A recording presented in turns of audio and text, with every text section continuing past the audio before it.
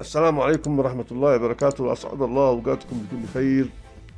العليمي يغازل الحوثيين مع كشف ترتيبات لإزاحة مجلسه الرئاسي. وإلى التفاصيل.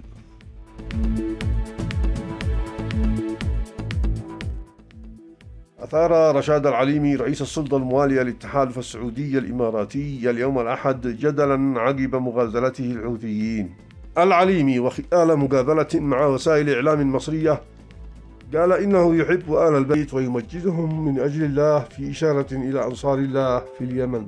وأثارت تصريحات العليمي هذه ردود أفعال واسعة في صفوف القوى الموالية له وعلى رأسهم من يعرفون أنفسهم بالأجيال وهي حركة علمانية تشكلت مؤخرا بدعم خارجي وتدعي أحقيتها بالسلطة.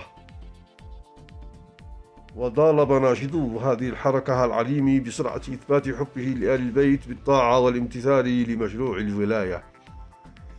ومع أن العليمي حاول من خلال حديثه الزعم بأن الخلافات مع آل البيت سياسية فقط إلا أن منتقديه ممن تم تنصيبهم بمراكز عليا في سلطته مؤخرا اعتبروها مغازلة لمن وصفوهم بالحوثيين.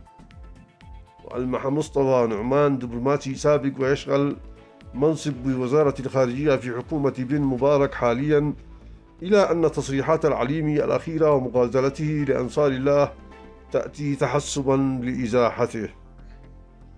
وأفاد نعمان في تغريدة على صفحته بمواقع التواصل الاجتماعي بأن سيناريو إزاحة العليمي باتت تقترب في إشارة كما يبدو لترتيبات سعودية للإطاحة بالمجلس الرئاسي أو إجراء تعديل عليه.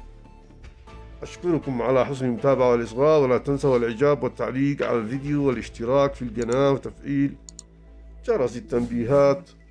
والسلام عليكم ورحمة الله وبركاته.